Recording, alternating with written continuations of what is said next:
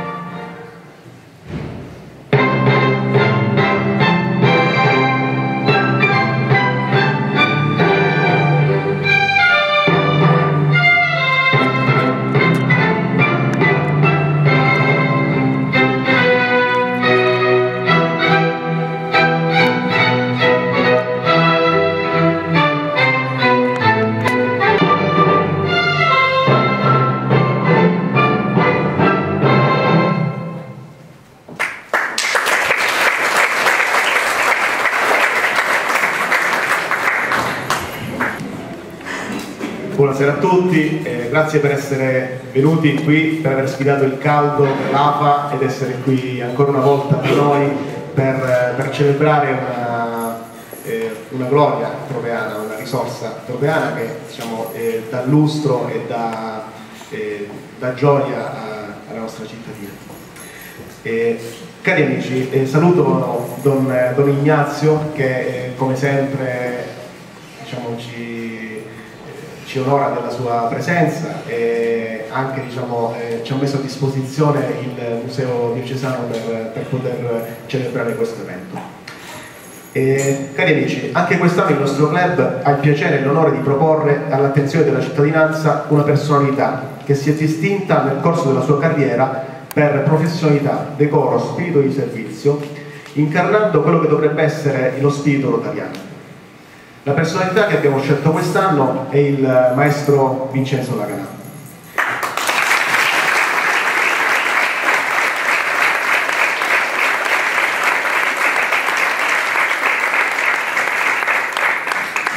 Si è diplomato in tromba nel 1982 presso il Conservatorio di Musica Torre Franca di Vibo Valencia. Ha intrapreso giovanissimo la carriera solistica esibendosi in numerose città italiane, Torino, Reggio Calabria, Palmi, Casale Monferrato, nel 1984 ha vinto il concorso a cattedra per l'insegnamento dell'educazione musicale nelle scuole medie. Dall'87 all'89 è stato per tre anni insignito del Premio Nazionale per l'Educazione alla Creatività, concorso nazionale scolastico UNICEF. Ha al suo attivo diverse composizioni, nonché rielaborazioni per svariati organici. Alcune sue marce militari fanno parte del repertorio di bande musicali nazionali, quindi vengono eh, tuttora suonate eh, in, in, tutta Italia e anche alle manifestazioni eh, con gli stati stranieri. Alcune sue marce eh, ha composto quattro colonne sonore per film e cortometraggi, tra i quali Un amore chiamato Tropea ed è risultato vincitore fuori concorso all'undicesima edizione documentari turistici Varese e il diario segreto di Ali andato in onda su Rai ha collaborato con l'emittente televisiva Mediterranean Channel per il programma Gente di Mare. Nel 1993 ha fondato l'orchestra Ars Nova Tropea e ne è stato direttore artistico fino al 2003, esibendosi in oltre 150 concerti pubblici. Nel 2007 è stato cofondatore e vicepresidente della prima edizione del Tropea Film Festival, premio Raff Vallone. Dallo stesso anno è direttore artistico del coro polifonico Don Giosuè Magridi Tropea, contando numerosi concerti, oltre che diverse messe pontificali, durante eh, le quali sono state eseguite sue composizioni. Ultimo suo lavoro in ambito religioso è l'oratorio sacro eh, Francesco Servo di Dio, L'Aquila, che raggiunse il sole, per voce recitante, eh, soli, coro e orchestra, ispirato alla vita e agli scritti di Don Francesco Mottola. Per la prima rappresentazione avvenuta il 29 giugno 2011 ha ricevuto il patrocinio del Conservatorio di Musica Torre Franca di Ripovenza. L'approvazione ecclesiale e il vescovo Monsignor Luigi Renzo ne ha curato la prefazione. L'opera è stata accolta con strepitoso successo e il pubblico ha tributato uno standing ovation di oltre 10 minuti di applausi. Attualmente, oltre all'attività didattica, frequenta il corso di laurea in direzione di coro e composizione corale presso il Conservatorio di Musica di Cosenza. E questo è il, un, un, breve, un un breve curriculum del, del maestro. E noi eh, ogni, ogni, anno diamo, ogni anno, diciamo, eh, spesso, non, qualche anno diciamo, non l'abbiamo dato, eh, diamo questo premio ad una personalità che eh, vive a Tropea o eh, lavora a Tropea. Eh, ora ti facciamo vedere un, eh, un, breve video che abbiamo preparato giusto per ricordarci del passato, perché senza passato non, non, si può costruire il futuro, quindi anche per eh, mettervi al corrente di quelle che sono state le personalità che negli anni passati sono state insignite di questo premio.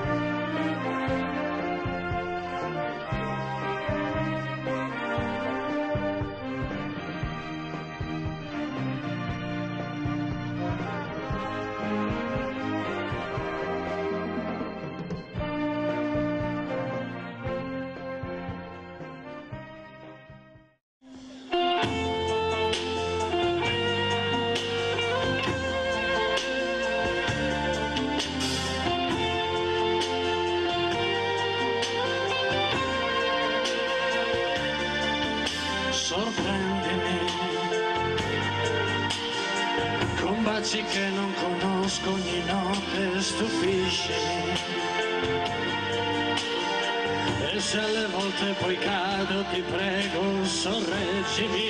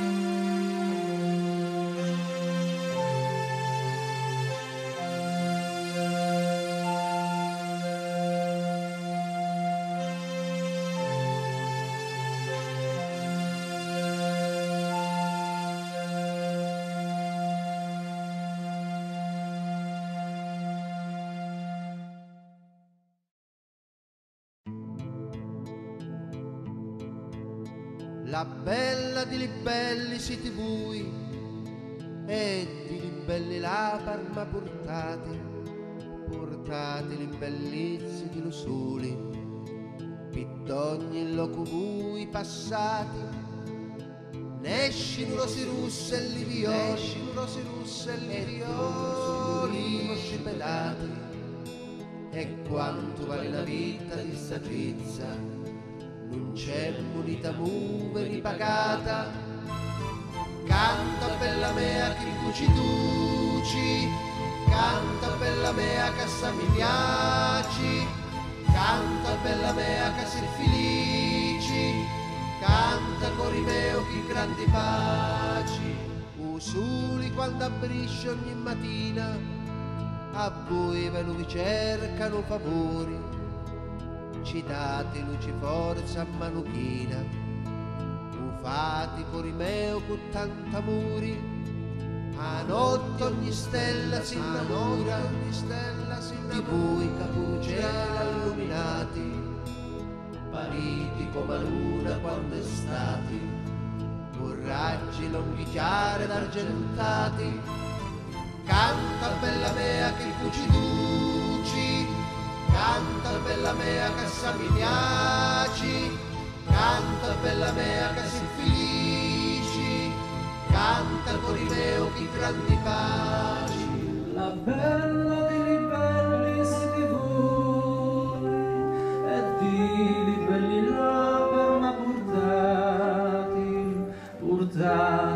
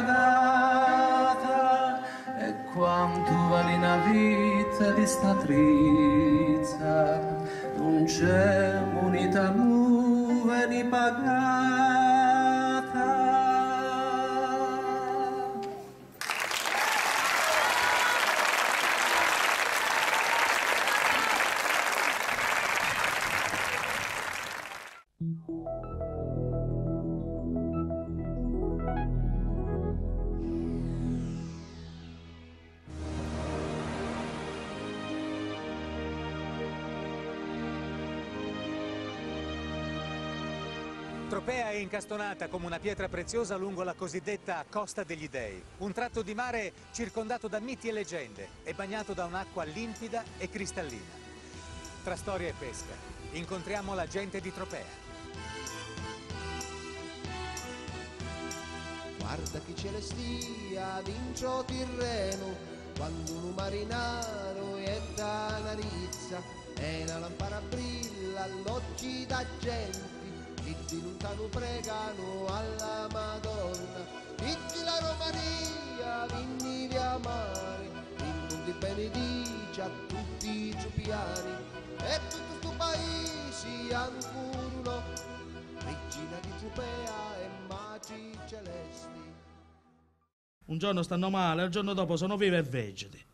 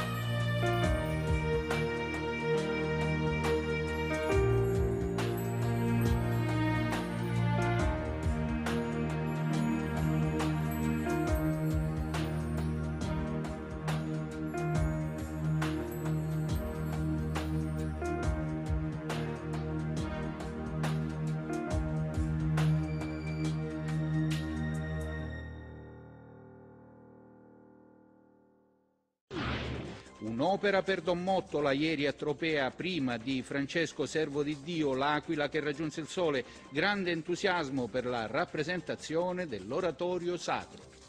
È stata un trionfo ieri sera a Tropea la prima rappresentazione dell'oratorio sacro Francesco Servo di Dio, l'Aquila che raggiunse il sole, dedicata a Don Mottola. L'opera, composta e diretta dal maestro Vincenzo Laganà, ha suscitato grande entusiasmo Pasqualino Pandullo. Una serata storica, emozionante, vissuta sulle ali della musica e della fede. La grandiosità dell'oratorio sacro dedicato a Don Francesco Mottola non è solo nei numeri dei 40 orchestrali, dei 100 coristi e dei 5 solisti, come non è stata solo nelle centinaia di persone che hanno assistito al debutto dentro e fuori la cattedrale. C'è una grandiosità più intima e dirompente al tempo stesso e risiede nella purezza dell'ispirazione che ha reso quest'opera musicale di una bellezza suggestiva e incantatrice. A rendere possibile questa sorta di miracolo lui, il maestro Vincenzo Laganà, autore e concertatore dell'oratorio sacro e direttore dell'orchestra e del coro che l'hanno eseguita.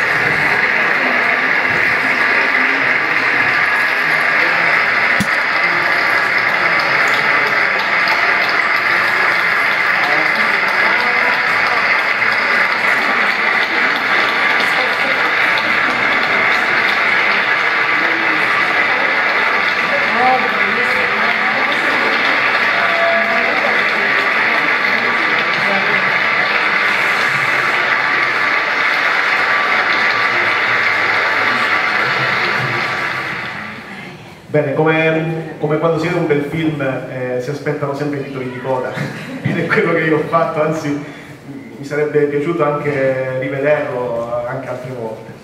Ora abbiamo conosciuto la vita, abbiamo conosciuto le opere, non ci resta che conoscere il maestro. Il maestro la verrà, si faccia vedere. c'è qui, è bello.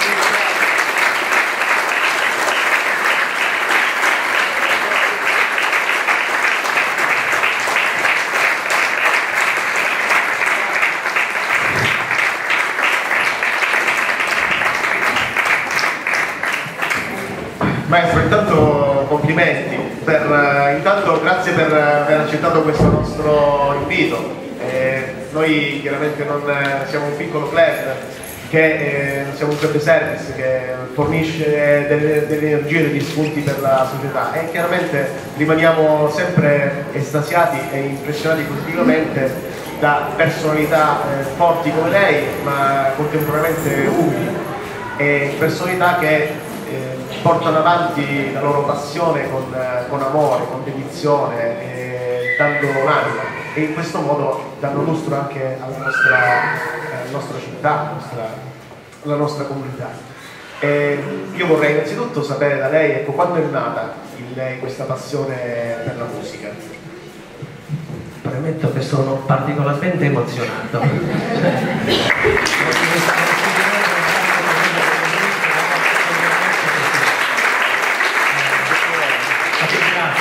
ringrazio innanzitutto tutti voi che avete accettato l'invito eh, mi avete onorato con la vostra presenza. Ringrazio il Rotary, il club eh, del distretto di Tropea che ha voluto organizzare questo, questo, questo premio. Ormai dura da parecchi anni, mi sembra che sia la dodicesima edizione. Eh, per cui non è un piccolo club, ma un club che opera nel nostro territorio e incide profondamente. La passione per la musica penso sia un qualcosa che è insito nella, nella mia famiglia, dallo zio che, che, suonava a suo tempo e poi da piccolino ho iniziato a suonare nella banda di Tropea del maestro Antonio Sirignano, quella non del 69 perché non sono così vecchio, ma quella un pochettino dopo, del 77-78, quindi ho iniziato in questo modo. Bene, bene Massimo. E poi chiaramente ha sempre continuato questa passione, quindi è partito da, dalla banda, no? da una realtà locale per poi proiettarsi, proiettarsi nella dimensione extra territoriale, addirittura nazionale. Quindi diciamo, mi fa molto piacere eh, ecco, sapere che una realtà eh, così importante come la banda di Tropea, eh, che ha avuto degli illustri eh, maestri come il maestro Sirignano, poi diciamo, successivamente lei praticamente ha frequentato la banda di cui era presidente La Torre, Sabatino La Torre, sempre. Sì, quindi diciamo, è una, una bella realtà, un pochino. Poi però ha anche conosciuto la presidenza di... è stata anche con, con Sabatino o anche Sabatino era presente perché aveva una figlia pure che suonava, quindi, però è stato, eh, diciamo, Sabatino si è inserito nella banda un po' dopo, eh, quando forse mi erano già uscito dalla banda. Ecco.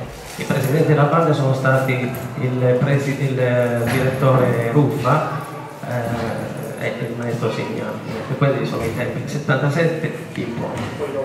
Poi diciamo, eh, adesso è una realtà che è finita oppure ancora c'è qualcosa musicisti a Tropea ce ne sono tantissimi, ovviamente tutti devono eh, la loro professione alla, a quell'idea iniziale del maestro Sirignano, quello nessuno glielo può togliere.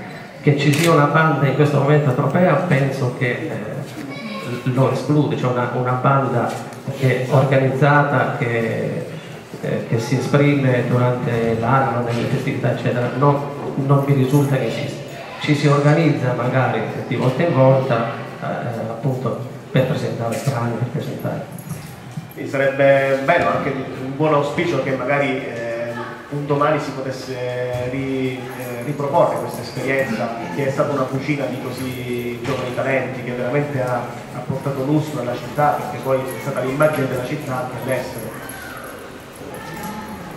No, volevo dire semplicemente che la banda già dal 69, anche nel 77, ha non solo eh, praticamente dato la possibilità a molti di studiare la musica, ma più che altro li ha tirati fuori da, dalla strada, cioè gli ha dato uno scopo di vita, eh, era una palestra praticamente la banda, a prescindere dalla, dall'aspetto musicale.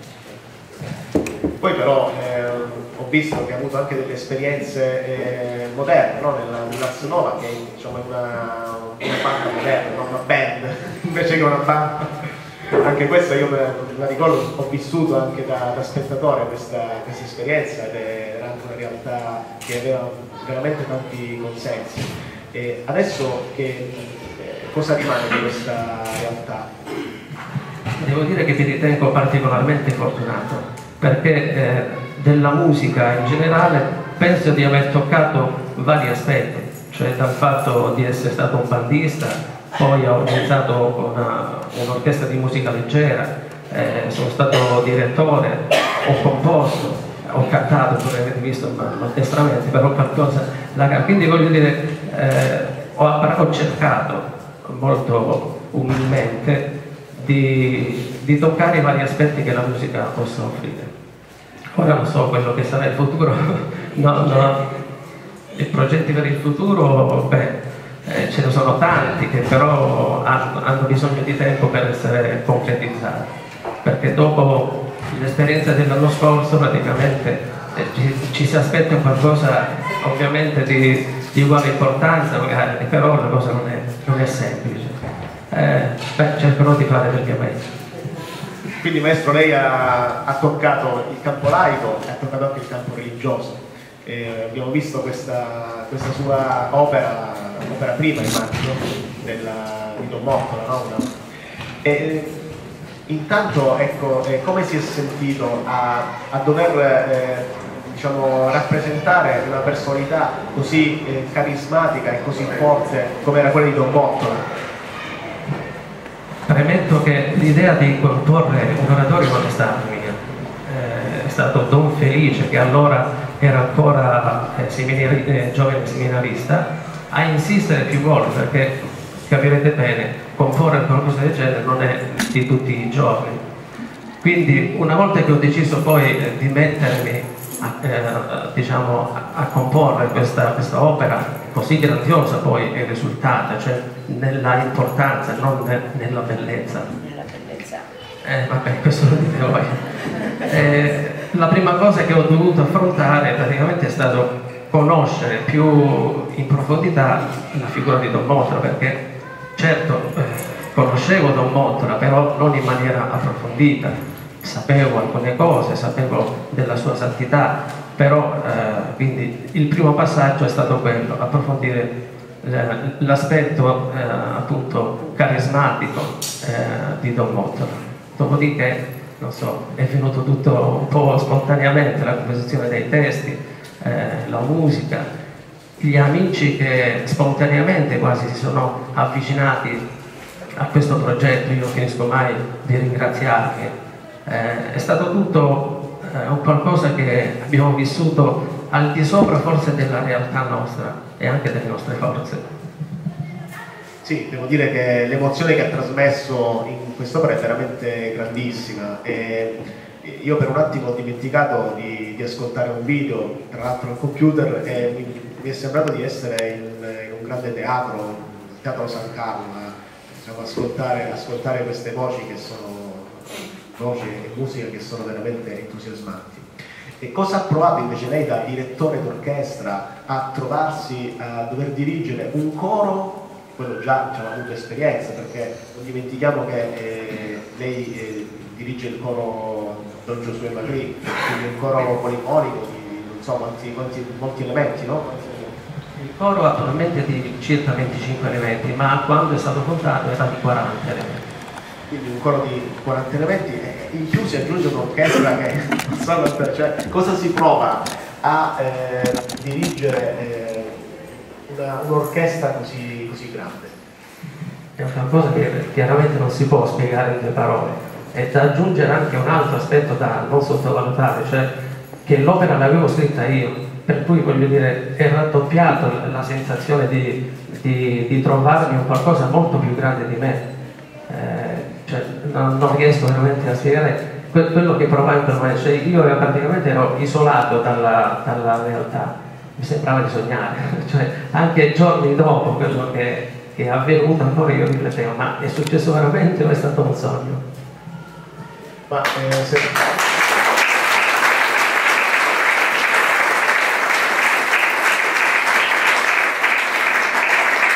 Secondo lei il fatto di eh, eh, diciamo, eh, rappresentare un'opera eh, religiosa, quindi che evidentemente aveva qualcosa dietro che era al di là di quelle che sono le nostre forze, e ha avuto una, un certo impatto, ha, avuto, ha, fatto la differenza rispetto a rappresentare una, una semplice opera lirica non, diciamo, che non avesse un significato religioso, non avesse un, un progetto dietro, una, qualcosa di, di, di concreto all'interno. Eh, è stato tutto, come dicevo prima, un qualcosa di particolare. Certamente comporre un qualcosa che è attinente alla vita di, di una personalità come quella di Don Moffola eh, ha comportato anche una responsabilità non indifferente, perché vabbè adesso ho capito che l'opera è piaciuta, però poteva anche non piacere e quindi io avrei sicuramente macchiato, potuto macchiare o rovinare o un po' deturpare quello che poi Don Moffola è stato. Eh, la responsabilità è stata grande, ma vedo che il risultato è stato positivo. Bene, sono contento e sono contento anche che il premio dato, andrà ancora, non andiamo andrà una personalità così, così, così importante come lei.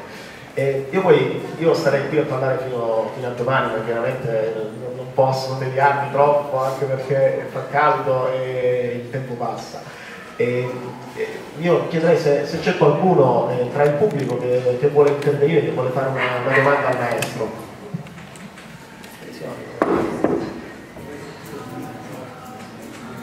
Beh, io eh, visto che nessuno si fa avanti, allora ah, dottoressa Sacca, prego, io mi aspettavo. Intanto i miei complimenti al maestro che seguo con discrezione attraverso la mia penna. Ma io volevo mm, chiederle una cosa, che sensazione ha provato, o meglio se ha, mm, avuto difficoltà nel pensare che doveva mettere insieme sei cori perché non, non l'abbiamo evidenziato, ma l'oratorio sacro, per l'oratorio sacro eh, il maestro Ravenà ha messo insieme sei cori, che penso non sia stata un'impresa facile, ed è riuscito a farne uno, che da sei cori ne è venuto fuori uno davvero eccezionale. Lei si rende conto di questo, o meglio, secondo me, a parte la risposta che lei poi mi darà, eh, ha, quali difficoltà ha incontrato nel mettere insieme questi sei cose. Eh, quello che io penso è che ehm, lei, al di là della bellezza del lavoro e dell'importanza che ha avuto, ha fatto qualcosa di più, qualcosa di particolare, cioè ha fatto conoscere Don Mozzolo intanto a 100 persone, ma li ha anche messi insieme ha fatto nascere delle amicizie tra di loro, che credo che sia un vanto per lei. E di questo deve essere orgoglioso perché ho avuto modo di eh, sapere, parlando con alcuni di loro, che ignoravano la figura di Don Mottola. Eh, per loro mh, Don Mottola non diceva nulla, invece grazie al lavoro che hanno fatto in seno alla, alla, con il maestro lo hanno conosciuto, si sono innamorati e sono diventati seguaci di questo nostro speciale venerabile. Ecco, questo per inciso. Ma la domanda rimane quella. Le sue perplessità, se mai ne avute, o eh, preoccupazioni su come fare per creare di sei cori uno solo. L'opera doveva inizialmente essere basata sul coro Don Giuseppe di Tropea, dove, cioè, l'idea iniziale era questa qua, il coro di tropea di circa 25 elementi e poi qualche altro rappresentante, magari soprattutto voci maschili, perché sapete che in genere i cori, i cori polifonici hanno carenza di voci maschili, per lo più sono voci femminili, quindi integrare con qualche altra unità per arrivare non so, a 35-40 elementi eh, e quindi quella era l'idea iniziale. E in più anche l'orchestra ci doveva essere. Praticamente gli strumentisti che di solito ci seguono, eh, eh, voglio dire, eh, accompagnano no? tutte le nostre attività, eh, che sono pochini, cioè sono circa 6 o 7 gli strumenti di quel clarinetto, il flauto, eccetera. Dovevano essere questi, magari supportati da un organo che doveva, doveva praticamente essere tutto uh, l'impalcatura dell'oratorio. Poi piano piano invece succede qualcosa di, di non so, di strano, di, eh, di, inimmaginabile, cioè i cori praticamente spontaneamente cominciano a, a, a, sapere di questo che stava avvenendo e si, si uniscono.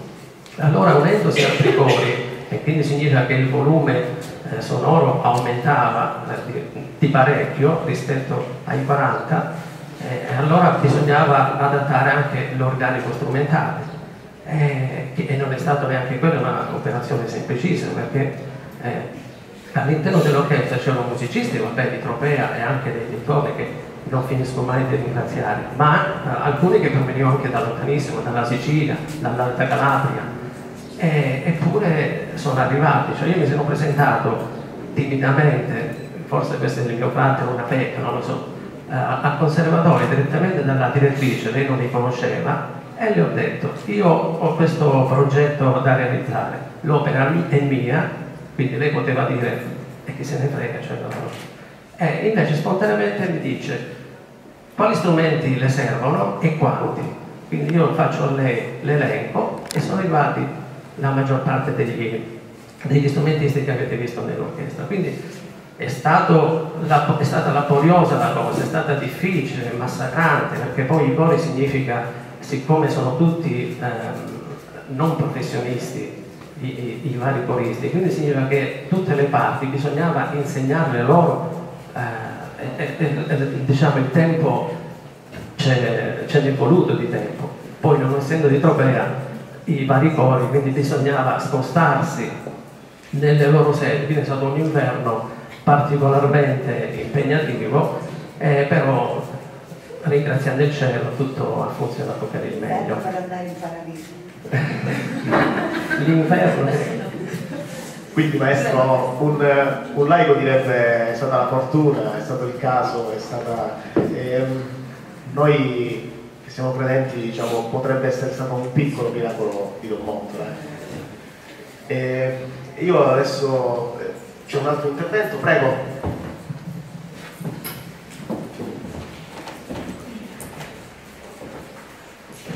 Buonasera, il signor Rocco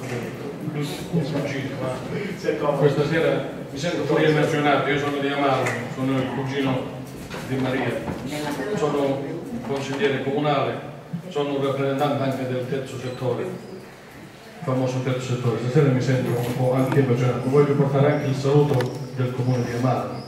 Il sindaco mi ha detto di portare il saluto e si sente orgoglioso anche lui stasera, non solo Tropea, ma penso anche alla Calabria, perché dobbiamo spendere di più per i nostri cervelli. La politica non deve solo fare le cose che non servono, deve tutelare la musica, l'arte, la cultura, perché il Dio ci ha fatto una Calabria bella, il mare, la storia, la mania invece, non lo so, qua avete una, una storia millenaria, ma penso che anche dobbiamo spendere di più come, come comuni, come provincia, come regione risorse per la musica, perché la musica è nel nostro DNA. La tarantella, tarantella la, ball la ballavano la gente dopo che metteva il grano per, per, per come dice, passare tutti quel sudore, la fame, si ballava. E la musica, l'arte dell'anima, veramente. Io penso che da Tropea stasera deve avere un progetto. Don Mottolo è stato un grande, ma deve avere un progetto per l'intera Calabria, perché la musica venga rappresentata e venga deliberata nei capitoli del bilancio della regione, della provincia, dei comuni, deve essere un capitolo per la musica. Questa è tolta ed è un peccato non solo per Tropea ma per la Calabria. Grazie.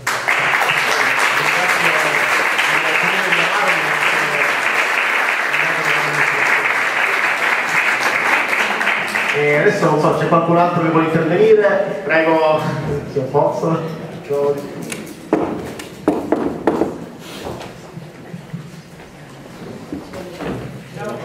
tocca, sono Paolo Cerasso, sono il presidente del coro polifonico che mi studia È un intervento per sfatare un nuovo comune, che è quello dell'esplosività e della pazzia de- degli artisti.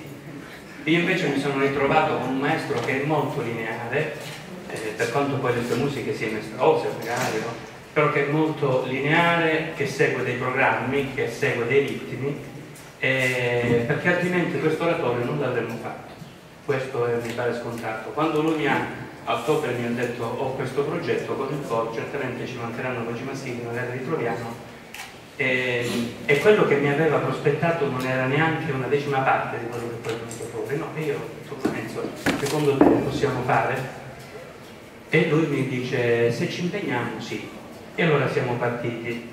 E quella cosa non ci è mai sfuggita di mano, devo dire la verità, per quanto ogni tanto ci incontravamo, io dicevo a lui, sai, mi ha chiamato questo coro che facciamo, e lui mi diceva, sai, mi ha chiamato quest'altro coro che facciamo, beh, prendiamoli, poi qualche, qualche coro ci è rimasto male perché ormai alla fine non potevamo e quindi si sono creati un po' di... E, però, ripeto, eh, o, o, lui non è un artista, quindi decidete voi, oppure quel detto che gli artisti sono tutti sregolati non hanno è falso. Secondo me, cioè io pendo per la seconda ipotesi, e anche perché qui è familiare se dicessi incontrare mi piccherebbero. Eh, no, mm, come coro, ecco, adesso due parole a nome del coro. Intanto siamo lieti pure noi del premio, perché pensiamo poco poco di aver contribuito pure noi eh, nel, nel come quelli della Snova presumo, no? Mm, perché lui ci ha usati come strumento e siamo ben lieti di essere stati strumenti nella, strumento nelle, nelle sue mani perché ne ha tirato fuori da rape ha tirato fuori delle belle cose. Ecco. E quindi siamo contenti per questo. Siamo contenti di lavorare eh, con Enzo perché, ripeto, ehm, ci fa fare belle cose eh, seguendoci piano piano, seguendo i nostri ritmi, che poi sono stati anche i ritmi degli altri. Quindi eh, un grazie a voi che avete riconosciuto questa capacità e che noi, scusate ma l'avevamo riconosciuta prima di noi.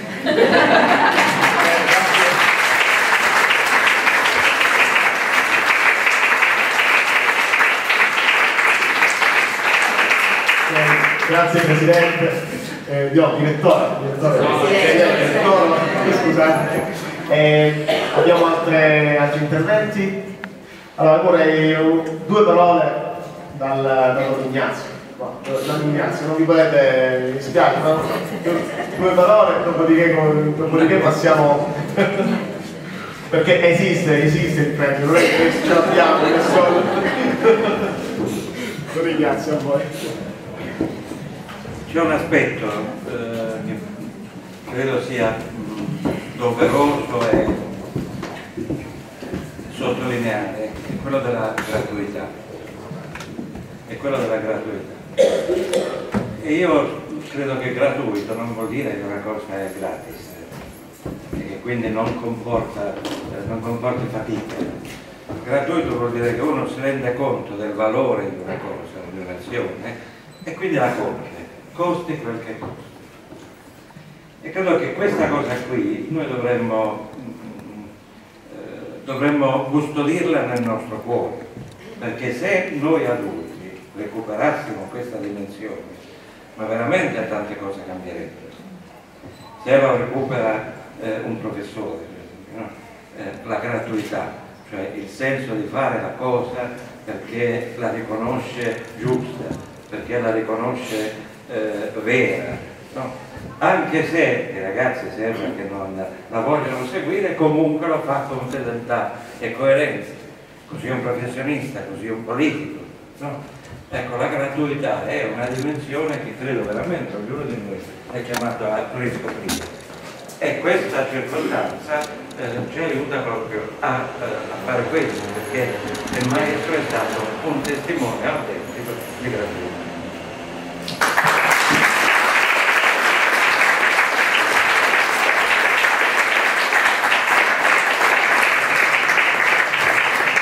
Grazie Ignazio, come sempre lei riesce a sintetizzare bene eh, quello che tutti pensiamo e quello che vorremmo pensare, quindi veramente grazie per questo intervento, grazie a tutti voi che siete intervenuti e anche eh, a tutti voi che avete dato un contributo eh, intervenendo qui a questa piccola, piccolissima tavola rotonda con il maestro Lagani. A questo punto c'è, abbiamo procediamo alla, alla, consegna di questo premio. Eh,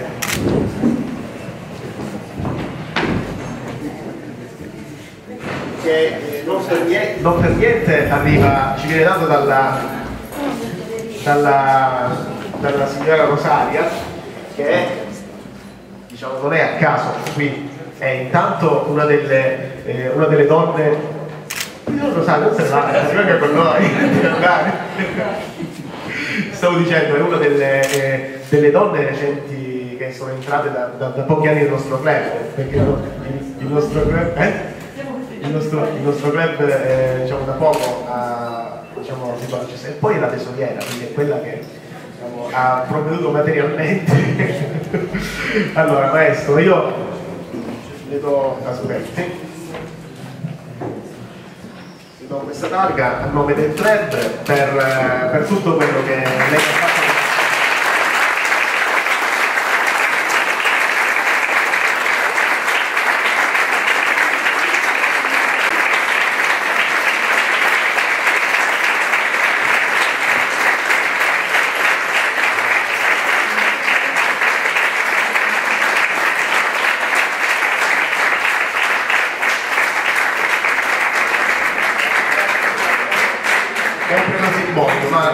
dice il Rotary International Club di Tropea riconoscenze conferisce al maestro Vincenzo Laganà il premio per la professionalità, per le sue creative e armoniose composizioni musicali e per l'arte doti umani. Tropea 23 giugno 2012, il Presidente.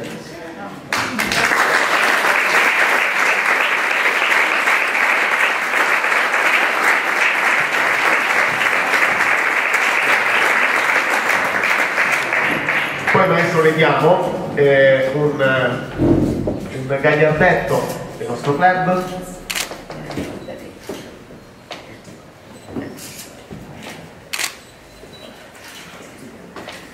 e poi eh, un, una rivista che abbiamo fatto in occasione nel 2007 in occasione del, del trentennale di vita del nostro club di Tropea.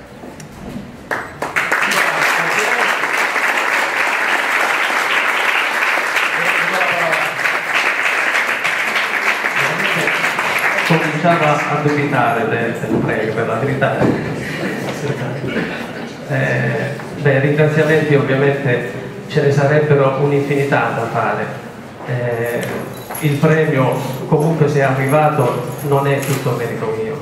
Eh, le caratteristiche stesse del premio, premio alla professionalità, intese così come voi lo intendete la professionalità, ovviamente coinvolge non soltanto la mia, la mia persona, ma tutti quelli che in questi anni mi sono stati vicini e sono veramente tantissimi, amici, colleghi, eh, semplici amanti della musica, quindi io devo condividere con loro, magari dovrei fare a pezzettini questa, questa targhetta e consegnare veramente a ciascuno di loro questi.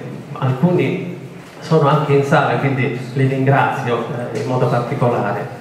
Eh, permettetemi anche di, eh, di ringraziare eh, la commissione che ha lavorato per designare appunto eh, il premio alla professionalità di, di, questo anno, perché secondo me hanno fatto un lavoro immenso, eh, non è semplice, cioè, importante e, e delicato, hanno dovuto praticamente muoversi nell'anonimato, nella segretezza, quindi hanno veramente compiuto qualcosa di, di, di importante. Eh, vorrei condividere anche questo, questa, questo riconoscimento con la mia famiglia, eh, le mie figlie che sono in casa.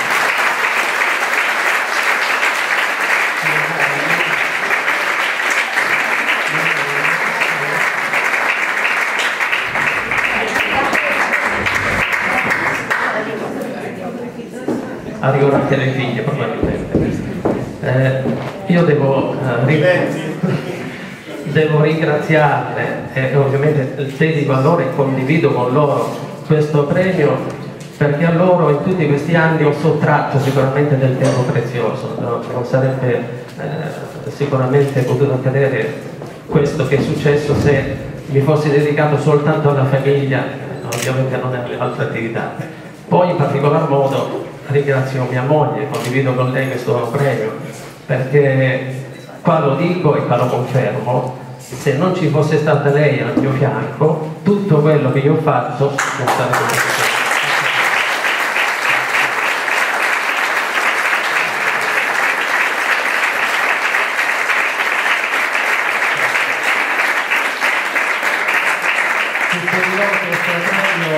le cose, le cose mie più care e più preziose. Grazie, grazie a tutti